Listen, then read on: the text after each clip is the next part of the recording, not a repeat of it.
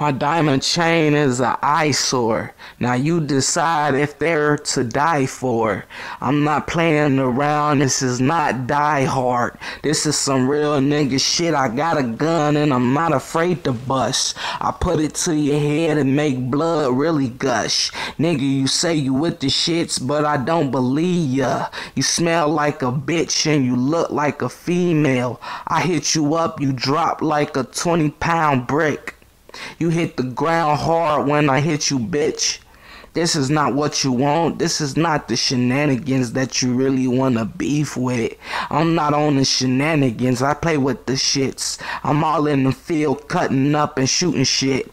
You say you wanna fuck with me cause you like the way I rock my chain and I go about my shit. You say I'm a real street nigga and you just wanna hang and be down with the set. You gonna have to put in work and start killing shit quick.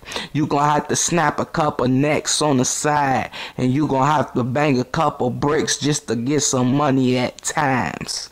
But if you ain't with that, you can't be down with DDG. We the gang, we the set, we cutting up, cutting shit. Like my nigga JR said, shot a